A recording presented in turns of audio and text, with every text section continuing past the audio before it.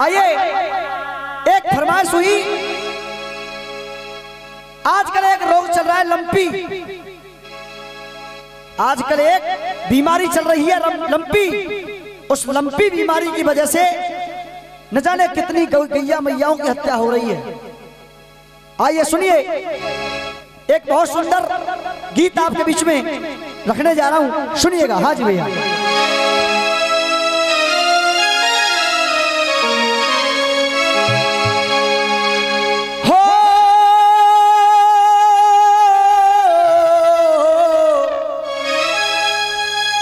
Change करो। ब्लूट लगा लो।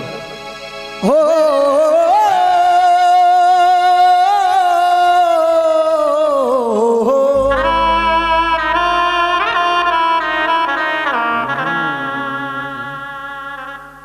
बात तो समय की है। एक किसान एक किसान, उस किसान के पास चार गाय थी। गुप्ता जी एक किसान के पास चार गाय थी। उनमें से उन गायों को लंपी बीमारी हो गई।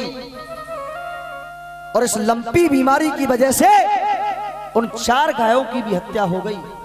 मृत्यु हो गई। गायों की मृत्यु देख करके किसान फपक फपक करके रोने लगा। पूरा दिन निकल गया रोते रोते रात्रि का समय हुआ। रात्रि को जब वो किसान सो जाता है तो उसको स्वप्न में, सपने में भगवान श्री कृष्ण नज़र आते हैं। भगवान कृष्ण से जब वो किसान कहने लगा कि, हे प्रभु, हे मनमोहन, ऐसा हमारे ब्रज में इस धरती पर ऐसा क्यों हो रहा है? जिन गायों को देवी देवता तक पूजते हैं, उस गाय की हत्या हो रही है। आइए सुनिएगा, भगवान श्री कृष्ण से कहने लगा वो किसान,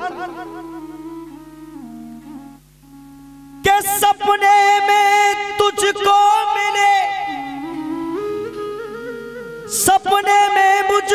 मिले और नंद नंदन नंदलाल। भूरी भाई, के सपने में मुझको मिले। और नंद नंदन नंदलाल। भरने ना नीर फरमा रहे। मधुर बचन गोपाल। जय जय। जब किसान ने कहा कि हे मनसूदन ये ऐसा क्यों हो रहा है धरतियों पर गौओं की मृत्यु क्यों हो रही है? तो भगवान श्री कृष्ण कहने लगे ए किसान मैं बताता हूँ मृत्यु क्यों हो रही है? सुनिएगा। कि खुद कर्ज हुआ है खुद कर्ज हुए हैं लोग यहाँ सब सेवा भाव भुलाया है। खुद कर्ज हुए हैं। लोग यहाँ सब सेवा भाव भुलाया है। और पंक्ति अगर पसंद आए श्री कृष्ण भगवान की तो आपसे एक बार ताली चाहूँगा मैं कि खुद कर्ज हुए हैं। लोग यहाँ और सब सेवा भाव भुलाया है। इसीलिए गौ माता को मैंने अपने पास बुलाया है।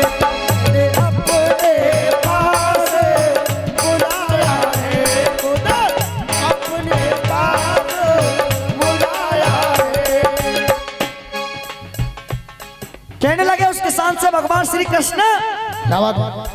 खुद कर्ज हुए हैं लोग यहाँ। खुद कर्ज हुए हैं लोग यहाँ।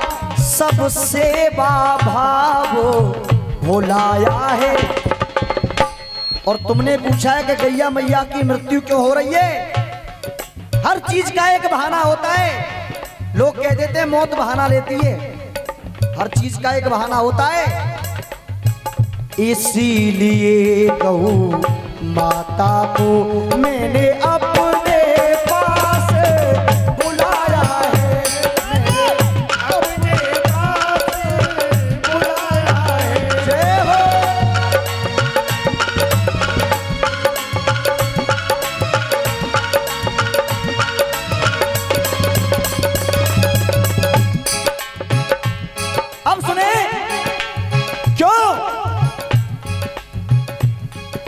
सनातन धर्म के बीच में कोई बिंदु नहीं हो सकता है।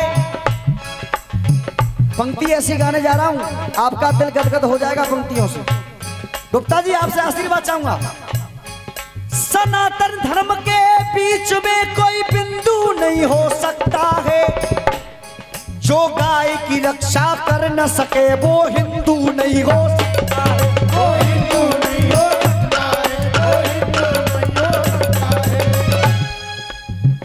नहीं हो सकता है। खुद कर्ज हुए लोग यहाँ सब सेवा भाव भुलाया है। बीमारी का नाम रख दिया लंपी। कुछ भी नहीं है। मौत बहाना लेती है। जब मुझे धरती पर पाप नज़र आने लगा, मुझे जब दिखने लगा कि गैया मैया की सेवा नहीं हो रही है तो फिर इसीलिए गौ माता को मैंने अपने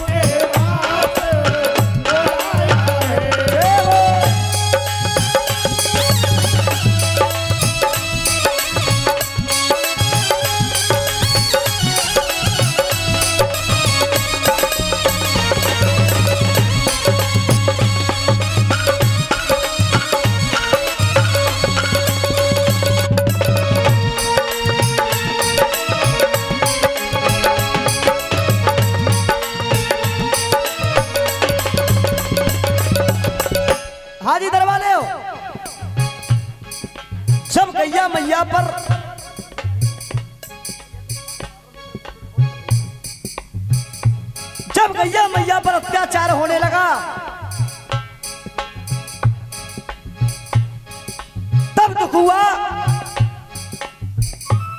क्योंकि गैया मैया को देवी देवताओं ने भी माँ कहकर के संबोधित किया है। हमारी तुम्हारी तो औकात क्या है? देवी देवताओं ने भी गैया मैया को माँ कहकर के संबोधित किया है। और जब माँ पर ही कष्ट आए तो फिर दिल रोता है। माँ पर ही कष्ट आए तो फिर दिल रोता है। रख रहा हूँ। भैया, इसमें सोनू भाई थोड़ा सा बेस कम कर दो, मैं में हल्का शालाएँ दे रहा हूँ, सुनिए।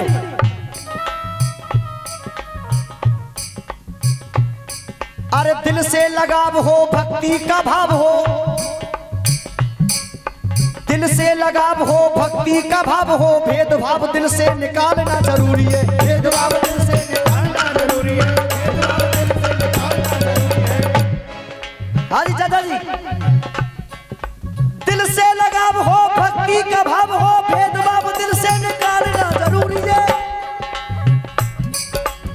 हार हो या जीत हो, हार हो या जीत हो, प्रेम हो या प्रीत हो हत्या हो किसी की उससे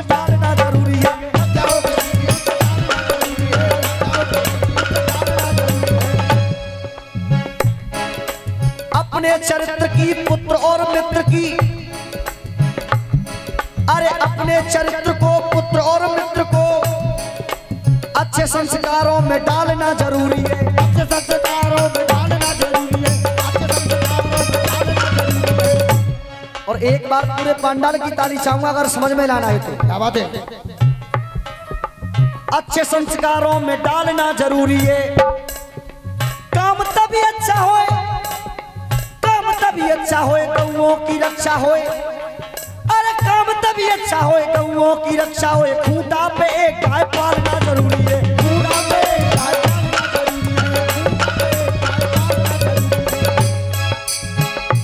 खूंटा पे एक गाय पालना ज़रूरी है। अब सुने पहला बंद। क्यों हुआ ऐसा?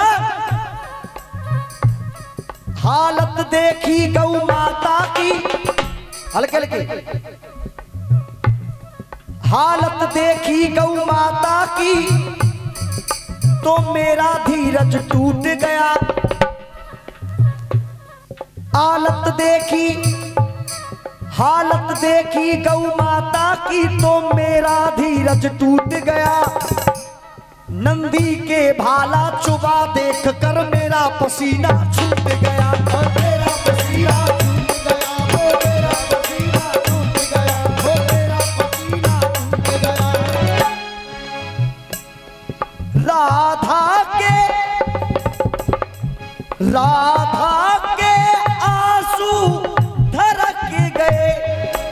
मुझको भी बहुत रुलाया है। और बात की जाए गौ माता की, इसीलिए गौ माता को मैंने अपने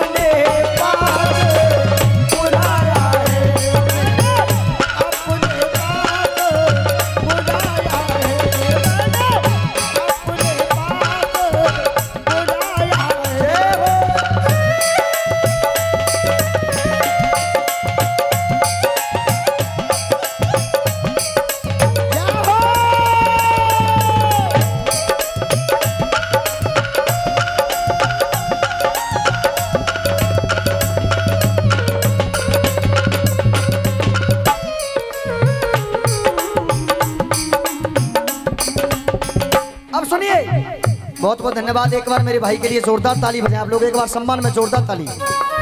यह पुरस्कार हमारे भाई की तरफ़ से। अब देखिए, दिल कब रोता है गुरुदेव? चाचा, दिल कब रोता है?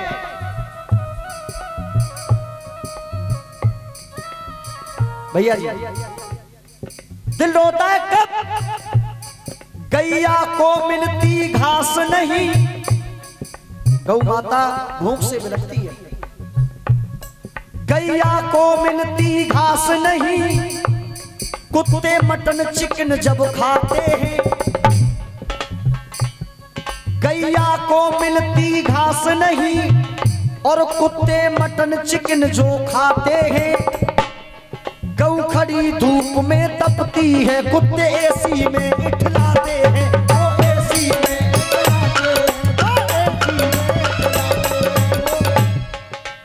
गैया मैया के लिए छाया नहीं है। लेकिन कुत्ता को देखा जाए तो कुत्ता एसी में सोएगा। गौ माता गौ खड़ी धूप में तपती है। कुत्ते एसी में इठलाते हैं।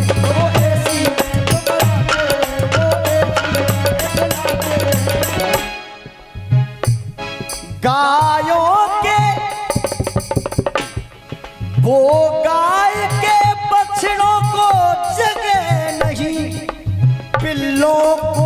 पास सुलाया कब हुआ ऐसा, गाय के बछड़ों को जगह नहीं, पिल्लों को पास सुलाया है क्यों इसीलिए गौ इसीलिए गौ माता को मैंने अपने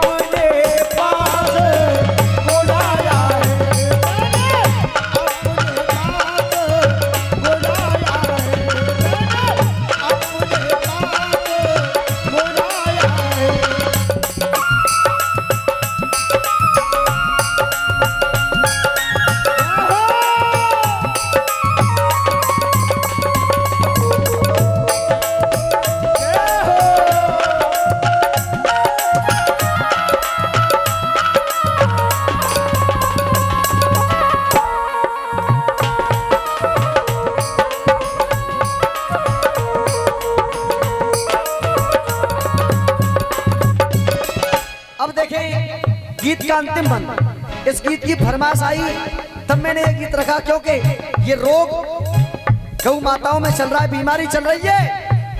पहले आई कोरोना वायरस, उस कोरोना वायरस से पीछा नहीं छूटा। उसमें न जाने सैकड़ों लोगों की जान गई।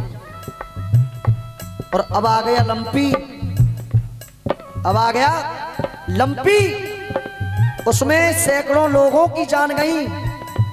और इसमें कम से कम कम से कम करोड़ों गाय अब तक खत्म हो चुकी हैं। इस लंपी रोग से। लेकिन इसकी कोई दवाई बन नहीं पा रही है। क्यों? क्योंकि जो वो करता है ना तो उसके सामने ना कोई दवा चलती है, ना कोई इंजेक्शन चलता है। जो अपने पास से वो कर देगा। उसके सामने ना कोई दवा चलेगी और ना कोई इंजेक्शन चलेगा। जब उसकी कृपा होगी तो सब कुछ ठीक होगा और वो चाहेगा तब विनाश कर देगा। अब सुने भजन का अंतिम मंत्र। किसी एक से नहीं कहना, सबसे कहना है मेरा। कहता हूँ कहता हूँ, अब भी संभल जाओ। कहता हूँ, अब भी संभल जाओ। पावन भारत माँ के लालो। हाजी चाचा जी। कहता हूँ, अब भी समझ जाओ। पावन भारत माँ के लालो तुम अपने अपने खूंटे पे, तुम अपने अपने खूंटा पे गौ माता एक ज़रूर पालो।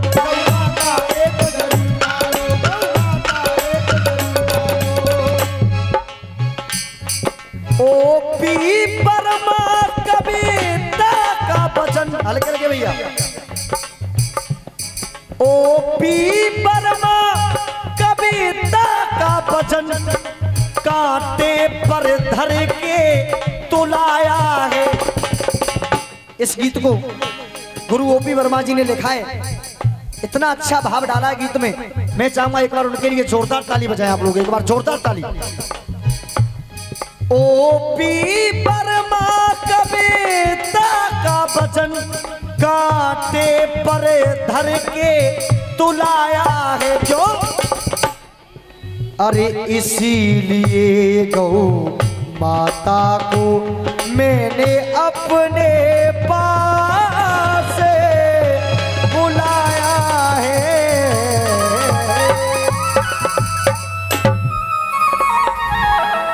बोलिए दुर्गे मैया की